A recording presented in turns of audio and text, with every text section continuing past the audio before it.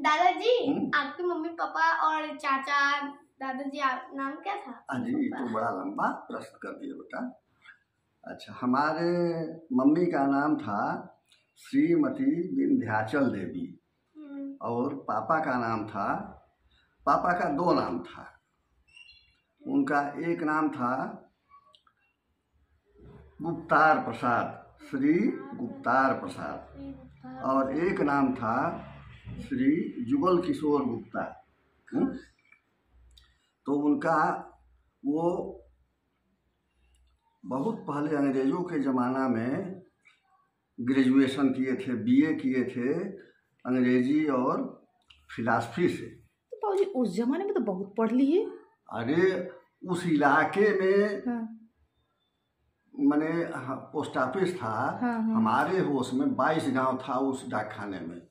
और जब तार आता था अंग्रेज़ी में कोई बाहर से तार टेलीग्राम भेजता हाँ। था तो लोग पढ़ाने के लिए आते थे वहीं आता था। पास। कोई दूसरा पढ़ने वाला नहीं था वही गिने चुने लोग ग्रेजुएशन करते थे ना हाँ। उस जमाने में। हाँ।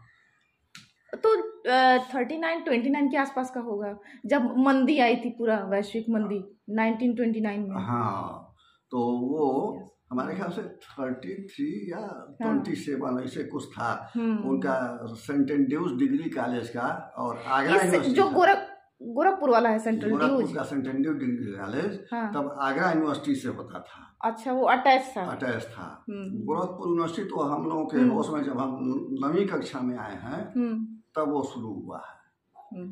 और सत्तावन में शुरू हुआ सत्तावन और अट्ठावन में। और वो उन- उनका बीए का मार्कशीट था। हम्म तो वो हम देखे थे। हम्म। हाँ। तो वह वो समय ग्रेजुएशन किए थे। हम्म। और हम देखे हैं जब कोई टेलीग्राम आता था तो लोग वहीं पढ़ाते थे कि क्या लिखल बा हमें।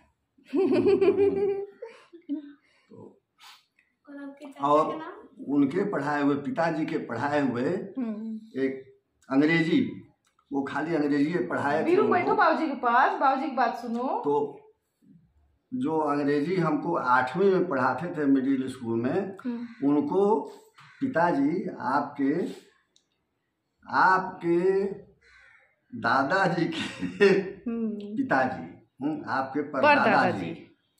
उनको अंग्रेज़ी पढ़ाए थे और वो हमको अंग्रेज़ी पढ़ाए और वो जो आठवीं में अंग्रेज़ी पढ़ाए। हम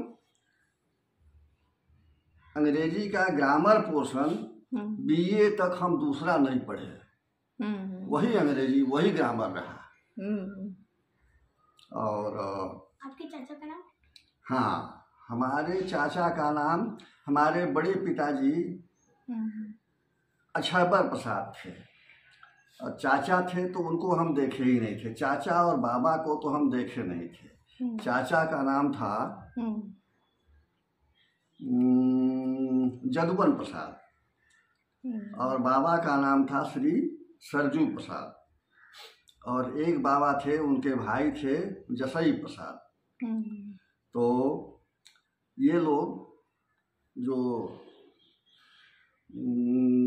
छोटे हमारे चाचा जी थे वो उधर बड़े तैराक थे तब हमारे गाँव के पास बहुत बड़ा तालाब रह हुआ करता था तालाब हुआ करता था ये बाबूजी चौरी चौरा वाला हत्याकांड जब हुआ था तो उस सन में वो हमारे ख्याल से पच्चीस सत्ताईस है, सत्ताईस में हुआ था हमारे ख्याल से है। अच्छा उस सन में रहे होंगे लोग दादा परदादा लोग हाँ हाँ। हमको होश है हम्म। कि हम इनके हाँ जैसे जा छोटे रहे होंगे चाहे। हम्म। आपके चाचा कहाँ पे तैनात थे? लेकिन तो उस समय सब वही ब्रिटिश फौज हाँ हाँ पूरा अंग्रेज़ों का फौज सब था। वही सब। वो अरे वो सारा दिखता है चौरी चौरा का स्टेशन में पे। सब गश्त हाँ। लगाते थे दिनवा में आते थे सब। हाँ। और सैतालीस के बाद जब विभाजन हुआ है हम्म। तो उनचास पचास में हम लोग चौथी कक्षा में पढ़ते थे हम्म। इसी चौथी में। तो पंजाब से सब सरदार भाग भाग के आते थे। हम्म अरे उधर का बंटवारा होना था तो उधर से सब भाग के इधर आए थे चौरी चौरक साइड में हाँ। आए थे तो आते थे सब तो वो सब तलवार उलवार लेकर के हाँ वो सब बर्छा कटार तो रखते ही हैं सब हमेशा। हैं। वो रखते हैं तलवार रखते थे सब हम्म। आते थे और वो सब कपड़े का व्यापार करते थे घूम घूम हाँ। और हमारे यहाँ जो बड़ा वाला मंदिर है सड़क हाँ। के किनारे हाँ। वहीं पर सब रहते थे। पंद्रह बीस के झुंड में सब आते थे वहीं रहते थे। हम्म। और सवेरे अपना सब बनाते थे लकड़ी जला के। हम्म खाना वगैरह। खाना बना करके खा के हम्म। गट्ठर ला दे और गाँव गाँव घूम के बेचते फिर शाम को आते थे। हाँ।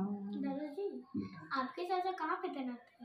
हमारे चाचा एक बार तो पूना में भी थे तब आप आप नहीं थे यहाँ। हाँ। हाँ। और एक बार शायद आए थे ना यहाँ थे तो। रेलवे क्वार्टर में जब थे तो हम्म, हाँ, हाँ। शायद आए थे हाँ। तो और वो पूरा सब तैनात थे सब घूमे हुए हैं। तो हाँ तो बहुत बड़ा तालाब था। हम्म। और उस तालाब में हमारे चाचा और बाबा दोनों लोग गए थे नाव से। खर सरपत काटने के लिए तब वहाँ तालाब के किनारे कछार एरिया में हम्म। सरपत खूब होता था तो काट काट के लाते थे। तो गाय जहाँ बांधी जाती है उसको छप्पर छाते थे। हम्म। तो हमारे यहाँ हमेशा कहना है कि एक बैलगाड़ी हम्म। तीन बैल और हम्म दो गैया हम्म। हमेशा रहती थी। हम्म।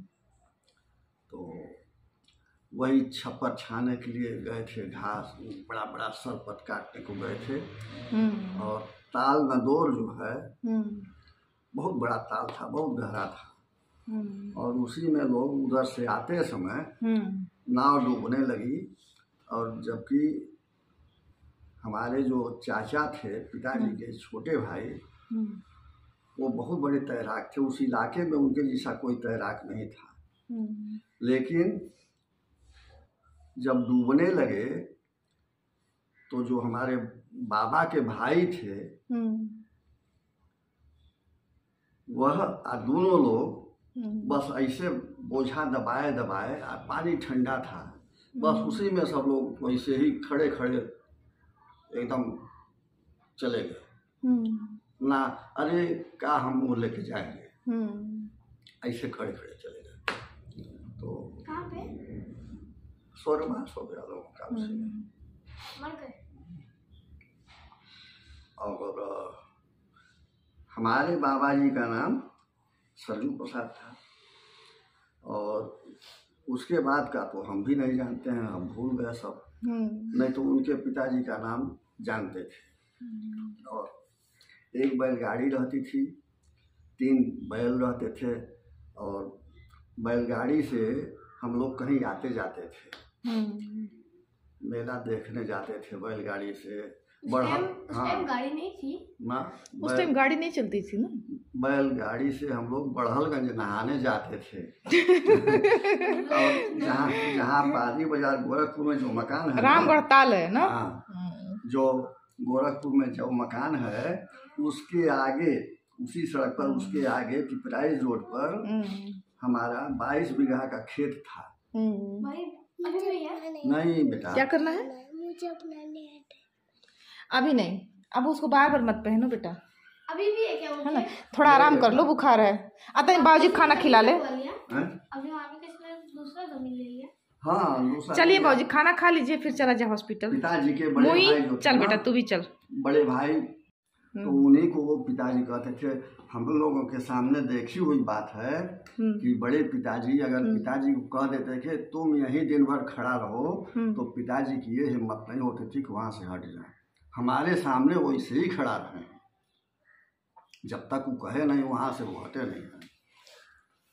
तो वो कह देते थे अब वो कहे उनको कोई लड़के नहीं थे लड़कियाँ ही थी। तो गाँव के लोग परिवार के लोग महिलाएँ चढ़ा दे कि अरे सब ये सब ले लेंगे यही सब ले इन्हीं का होगा बच्चे हैं नहीं इन्हीं सब का होगा। तो सब खेत बेच दिए। यहीं तुरवा पर है हम लोग के आगे हम्म। राइस रोड पर। बाईस बीघा खेत था। हम्म। और हम अपने होश में हमको याद है हम नवी हम्म। कक्षा में पढ़ते थे हम्म। बैलगाड़ी पर धान और चावल लदवा के ले गए हैं। हम्म। सब बाच के किनारे हम्म अब तो बस्ती हो गया है पूरा रोड हाईवे बन एक गया है। आदमी वहाँ है अभी हाँ। बसा हुआ है अभी खेती कर रहा है पुराना पुराना हम्म। हम्म। और हमारे पिताजी के हर कोई अपने पुरखा पुरनिया का संपत्ति चाहे वसीयत चाहे जो कहिए संभालना मुश्किल है ना हाँ, हर किसी हाँ, के बस का हाँ, नहीं है हाँ। अभी भी वहाँ पे कोई आती खेत में काम अब जिसकी नौकरी लग रही है वो हट जा रहा है जिसको जल्दी जल्दी कमाना वो हट जा रहा है। वो खेता जिसके अंदर धैर्य है ना बाबूजी हाँ। वही बस टिक पा रहा है। बाकी कोई नहीं संभाल के रखे। कुछ ही लोग संभाल पाएँगे जिसके अंदर धैर्य है। दादाजी मेरे को देखना है आपका खेत। खेत? अब तो बेटा हमको भी नहीं पता है खेत का खेत खेत का कागज़ आपके जो चाचा जी छोटे वाले दादाजी है ना। ये खेत बाड़ी का तुम्हारे दिमाग में कहाँ से आ रहा है मोही डिस्ट्रिक्ट जज के पेशकार थे उनको हम लेखपाल के यहाँ जा करके पैदल पैदल मेड़ मेड़ हम्म। शिव प्रकाश के साथ स्कूटर कुदाते कुदाते हम्म। लेखपाल के यहाँ गए। कागज़ निकलवाए सब। हम्म। इनको दिए कि खेतवा नपवा लो। हम्म। कहाँ बा? कम से कम ये तो मालूम है हाँ यहाँ यहाँ हाँ, कौन कौन उसको जोत बो रहा है? अच्छा हाँ। रखे रखे कागज़ वो। उनको पेशकारी से हम्म, पाँच रुपया जो मिलता था हाँ। उससे उनको फुर्सत नहीं मिला। हाँ। वो कागज़ रखे रखे कहा हो गया पता हाँ। नहीं दीमक खा गया हेरा गया गायब। हाँ। लेकिन हम लोगों का जो खेत था हाँ। पता नहीं कौन जोत रहा है कौन बो रहा है खा रहा है। हाँ उनके नाम का जो खेत उनके ससुराल से जो मिला था हाँ। वो उनका कागज़ पत्र सब सही है हर साल जाते इतने सा मिलता है तो ले हाँ। जाते हैं। हाँ। वो कागज़ पत्र भी चलिए हम खाना निकाल रहे हैं।